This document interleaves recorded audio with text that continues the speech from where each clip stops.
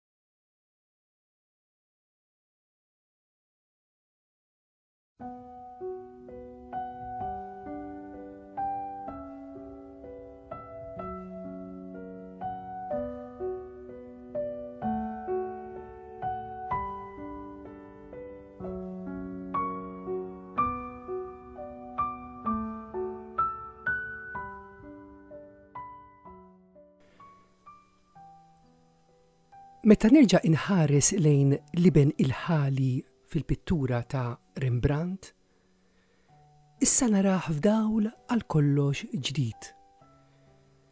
Narah bħala Ġesù li ġej lura għand Missieru, u Missieri, għand Alla tiegħu u Alla tiegħi.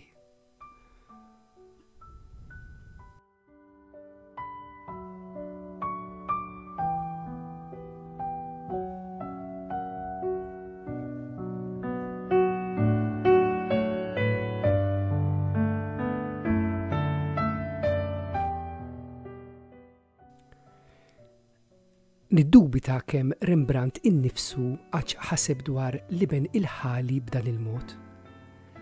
Dan l-għarfien ma kienx parti mill-predikazzjoni u l-kitba ta' żmienu. Madanakollu, li f'dan iż-żagħżugħ mifni bl-għeja u mkisser naraw il-persuna ta' Ġesù innifsu, iġibilna faraġ kbir.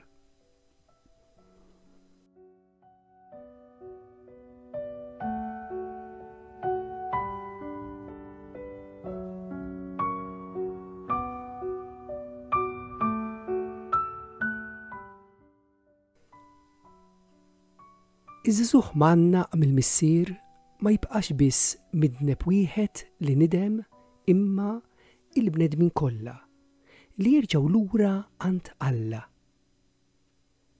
Il-ġisem imfarrak tal-Iben isir il-ġisem imfarrak tal-umanità, u il-wiċċ bħal ta' tarbija tal-Iben li jerġa' lura jsir il-wiċċ tal-bnedmin kollha li ibatu u jixtiequ jerġgħu jiħtlu fil-ġenna li tilfu.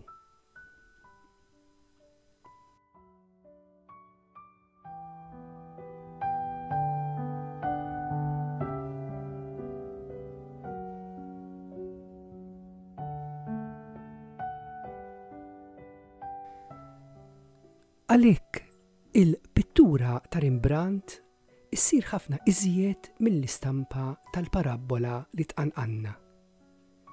Issir il-ġabra fil-qosor tal-istorja tas-salvazzjoni tagħna. Id-dawl madwar sew il-Missier u sew l-Iben issa ikellimna fuq il-glorja li hemm tistenna lil ulied Alla. Ifakkarna fil-kliem tal-għaġeb li nsibu fi Ġwanni. Issa aħna ulied Alla. Imma se nkunu 'l quddiem mhuwiex irrivelat lilna. Madankollu nafu li meta jidher Hu, aħna nkunu bħalu, għax narawh kif inhu.